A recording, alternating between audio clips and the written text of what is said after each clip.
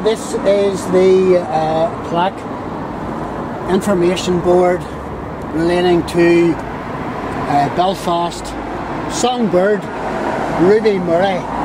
And Ruby Murray in the 50s had more uh, singles in the top 10 and she, she still has the record for having more singles in the top 10 than any other singer ever.